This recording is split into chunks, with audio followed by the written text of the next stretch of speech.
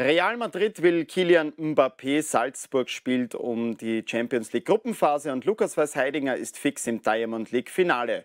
Das sind ihre Themen und damit herzlich willkommen aus dem Krone TV Sportstudio. Das Transferfenster ist in den europäischen Top-Ligen noch bis 31. August geöffnet und ein hochkarätiger Wechsel könnte eventuell bald in trockenen Tüchern sein. Laut einem Bericht der französischen L'Equipe soll Real Madrid 160 Millionen Euro für Kilian Mbappé bieten. Von beiden Clubs gibt es diesbezüglich aber noch kein Kommentar. Seitens PSG scheint die Position aber unverändert. Mit dem 22-jährigen Sturmjuwel wollen die Pariser zumindest bis Juni 2022 planen. Falls Mbappé zu den Königlichen wechselt, wäre Richarlison vom FC Everton ein potenzieller Ersatz. Der 24-jährige Brasilianer ist in der Offensive variabel einsetzbar und auch mit Neymar befreundet. Beim nächsten Kandidaten könnte aus einem Leihgeschäft bald eine fixe Verpflichtung werden. Yusuf Demir hat beim FC Barcelona bisher auf ganzer Strecke überzeugen können. Der erst 18-Jährige hat im Spiel gegen Athletic Bilbao eine halbe Stunde gespielt und ist seitdem in den spanischen Medien omnipräsent. Laut des größten katalanischen Radiosenders hat sich Barcelona bereits dazu entschieden, Rapid die 10 Millionen Euro zu zahlen, die gemäß der Kaufoption in Demes Vertrag zu entrichten sind. Erst gestern äußert sich ÖFB-Teamchef Franco Foda zu seinem Schützling, der im 25-Mann-Kader von Österreich steht. Hat eine extreme Entwicklung genommen in, in diesen paar Wochen. Ähm, habe auch ähm, gestern oder vorgestern mit ihm telefoniert. Auch am Telefon wirkt er viel aufgeschlossener. Also man sieht schon, ähm, dass gerade auch so ein Wechsel viel bewirken kann bei einem Spieler. Und ähm, es ist ganz, ganz wichtig für ihn, auch für die Persönlichkeitsentwicklung. Lernt mittlerweile auch Spanisch. Und während die Katalanen schon fix in der Königsklasse mitspielen, sieht sich der FC Salzburg gewappnet für das heutige Champions League Playoff-Rückspiel gegen Brøndby.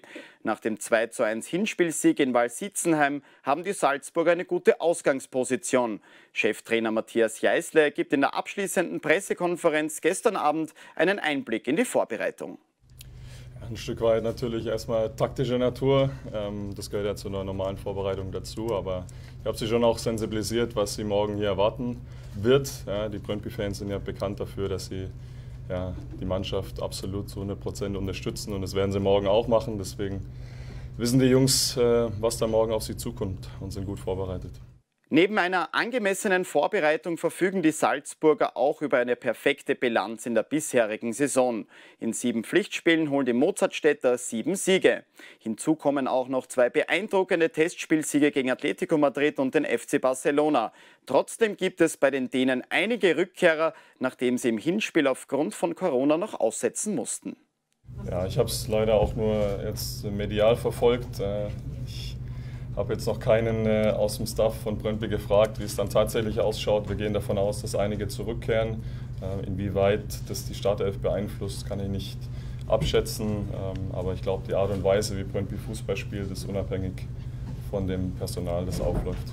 Und Salzburg hat vor allem ausreichend Personal und Qualität, um zum dritten Mal in Serie in die Champions League Gruppenphase einzuziehen. Damit wären die Bullen das zweite österreichische Team, dem dieses Kunststück gelingt. Nur Sturm Graz konnte sich zwischen 1998 und 2000 dreimal in Serie für die Gruppenphase der Königsklasse qualifizieren. Anpfiff ist heute um 21 Uhr. Bereits gestern ist Peter Stöger mit Ferencvaros Budapest in der Quali an Young Boys Bern gescheitert. Die Ungarn verlieren auch das Rückspiel mit 3 zu 2 und müssen sich mit der Europa League zufrieden geben. Und vom Fußball kommen wir noch zur Leichtathletik. Lukas Weiß-Heidinger hat nach dem Bronzemedaillengewinn bei den Olympischen Spielen in Tokio ein weiteres Saisonziel erreicht. Der Oberösterreicher wird am Finale der Diamond League teilnehmen. Am Dienstag schleudert der 29-Jährige die Diskoscheibe auf 62,94 Meter und wird hinter dem Briten Lawrence Okoye Zweiter. Weiß-Heidinger ist happy mit seiner Leistung und freut sich, dass seine aktuellen Trainingsleistungen zu einer Konstanz auf Wettkampfebene führen.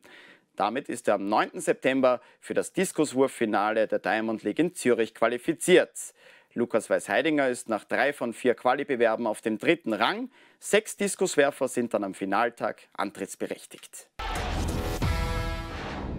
Das waren die wichtigsten Sportnachrichten des heutigen Tages. Wir drücken unseren Salzburgern die Daumen, dass sie es wieder in die Gruppenphase schaffen und kümmern uns vor allem am morgigen Donnerstag darum, dass auch Rapid, Lask als auch Sturm Graz weiterkommen. Boom.